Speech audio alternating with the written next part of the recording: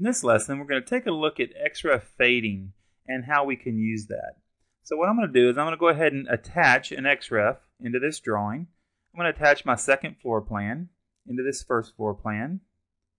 And I'm going to leave all this kind of uh, like it is. And it'll bring in my second floor on top of my first floor.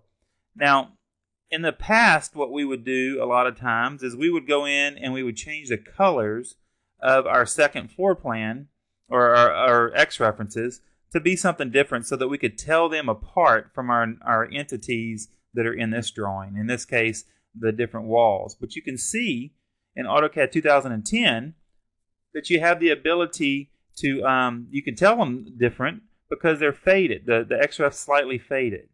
Now, the place that you go to adjust this fading is you go to Reference, and you see here that uh, when you pull down the little the little arrow to extend this palette, uh, this little panel, we see that we have an option called XREF fading.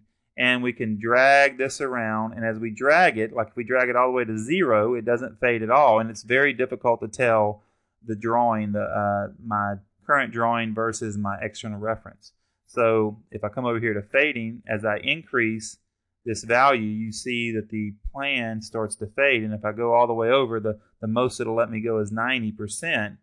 Then it's very obvious what's coming in as an XREF and what's coming in, um, what's already in there. Now, in some areas, it's a little difficult to see. So I'm going to show you another little tip here. If you click on your XREF, your XREF and you right click, you can go over to draw order and you can tell it to send to back and it'll move the XREF to the back of the drawing. And so now these lines that are in my main drawing here are in the foreground and they're not covered up. So that's another way that you want to be sure that you, um, another tip you want to use to make sure that you can kind of tell the difference between your XREF objects and your objects in your main drawing.